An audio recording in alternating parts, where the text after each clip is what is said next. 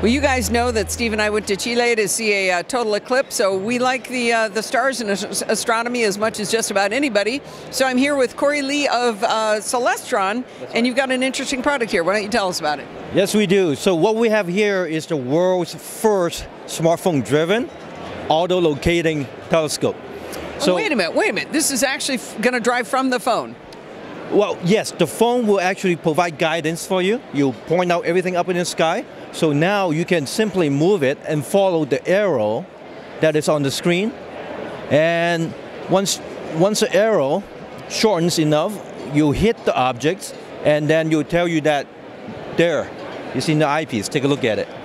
Oh my gosh! So we have we have an audio audio audience as well. So I'm going to describe this. So on the iPhone, he's looking at the stars in a uh, in an app. Obviously, that is seeing it. Right. That's not actually the telescope is not seeing the stars right now because we're inside. Th- That's absolutely right. So what we have done here is basically because we're indoor, we created a little demo mode. Um, so what's happening is I'm going to move it away from the target for a second.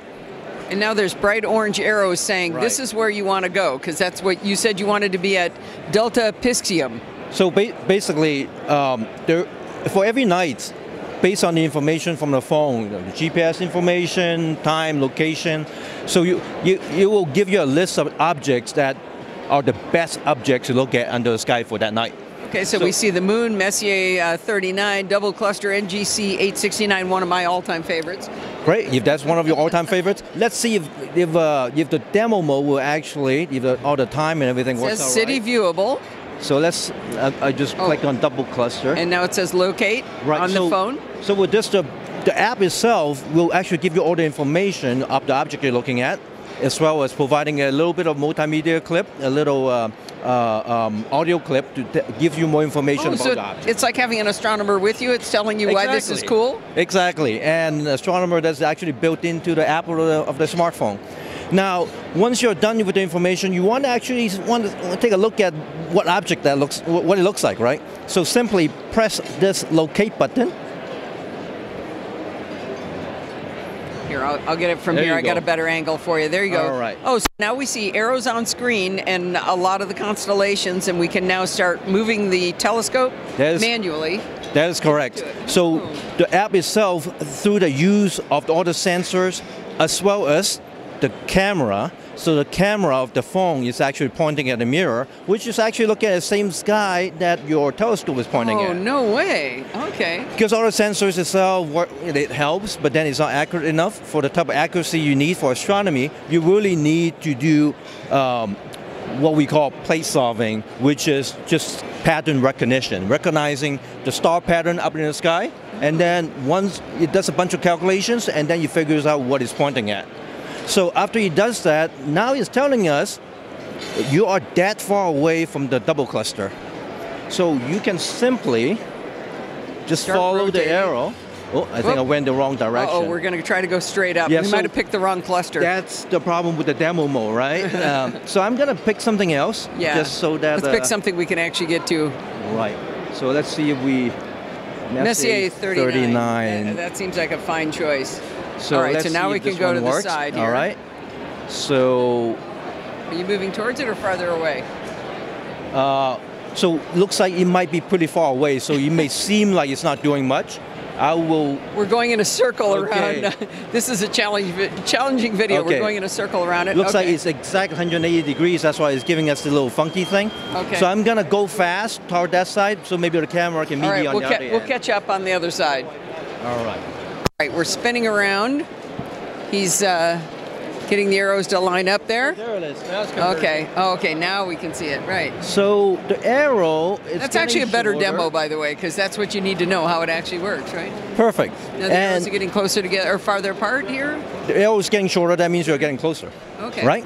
So as you get closer to it, you actually start zooming in and showing you more of what you are eventually going to be Oh. looking at. Yeah. Each as we're inching closer and closer, it's it's zooming in as we go. That's nifty. Exactly. Uh, notice that uh, the crosshair just turned yellow.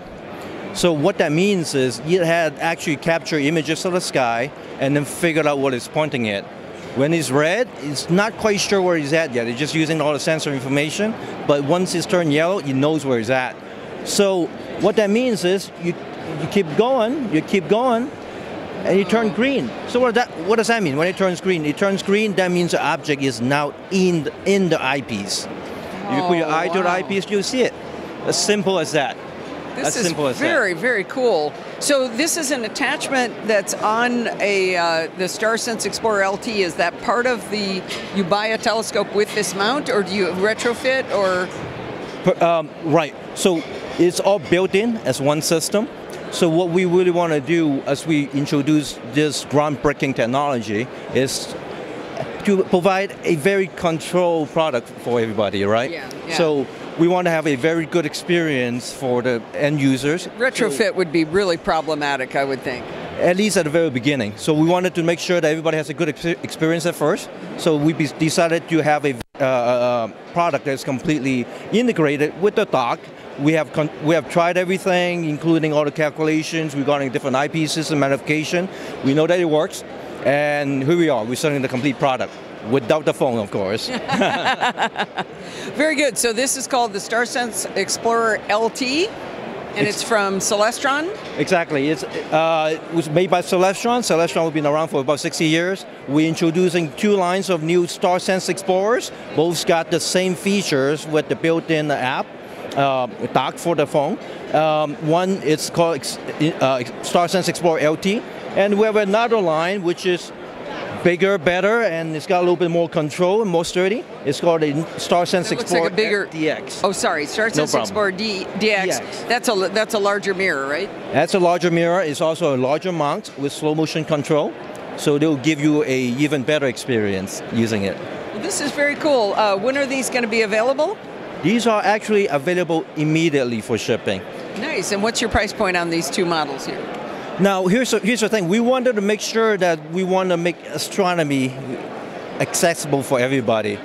So we make it, we have all this technology built in, so now that you can help you find everything up in the sky, so easy, right? Everything's so easy. But then we also want to make sure that it's affordable. So that's one way to do it. Just use, leverage what you have already spent money on. Everybody's got a smartphone. So let's let the smartphone do the heavy lifting. So with all that said, these are actually very affordable products.